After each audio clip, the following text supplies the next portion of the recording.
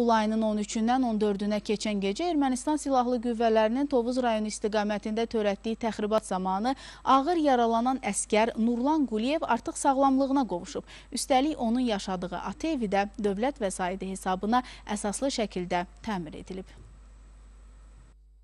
Azərbaycan dövləti hər zaman əskərinin, zabitinin yanındadır. Ötən ay Ermənistan Silahlı Qüvvələrinin Tovuz rayonu istiqamətində törətdiyi təxribat zamanı ağır yaralanan əskər Nurlan Quliyev də istisna deyil. O Tovuzun Ağdam kəndi istiqamətində gedən döyüşlərdə yaralansa da, həkimlərimizin səyi nəticəsində yenidən sağlamlığına qovuşub. Nurlanın müalicə aldığı müddətdə ailəsinə baş çəkən rəsmilər evlərinin əsaslı təmirə ehtiyac olduğunu görüb. Beləliklə, Masallının Sığıncaq kəndində qazinin doğulub boya başa çatdığı ev dövlət tərəfindən əsaslı təmir olunub. Nurlan evin təmir olmuş halını bəyənib və bunun üçün əməyi keçən hər kəsə minnətdardır. Bu hadisə onda inam yaradıb ki, əgər bir gün o olmasa, dövlət valideynlərinə arxa dayaq olacaq. Mən yaralanan vaxtı evimizin düzdür, daxili xarici görkəmində biraz zəifçilik ola bilər.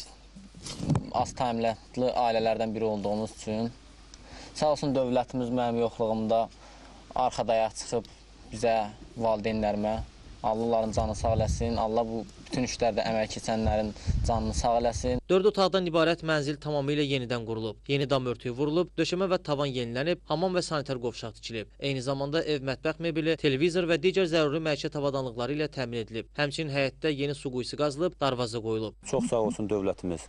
Buradan da mən bütün Azərbaycan ordusuna, zabit gizir heyətinə öz təşəkkürümü bildirirəm ki, belə uşaqlarımız var.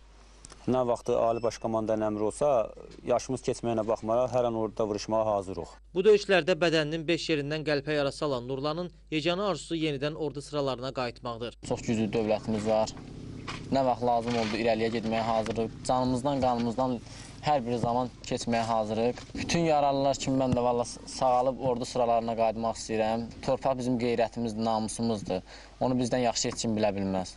Oradakı canımızdan keçməyə hər zaman hazırıq, hər bir Azərbaycanlı insanı kimi. Qeyd edək ki, Masallı rayon icra hakimiyyəti, Yeni Azərbaycan Partiyası Masallı rayon təşkilatı və millət vəkili Məşhur Məmmədov Nurlan Quliyevin yaşadığı evin bütün təmir xərclərini öz üzərlərinə götürüblər. Əyyub Məmmədov, Elviz Nəsirli, İsmail Cəfərli, Masallı.